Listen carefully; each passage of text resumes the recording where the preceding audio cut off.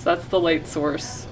And it's insulated, so if you look into that little hole, that metal thing is the silicon carbide. That's the actual light source. That's what glows. It heats up and glows. And that's the infrared light source. This is a detector. So the detector sits in the instrument like this, and the infrared light would go into this um, hole and then get detected in the detector so we can see how much has been absorbed by the sample.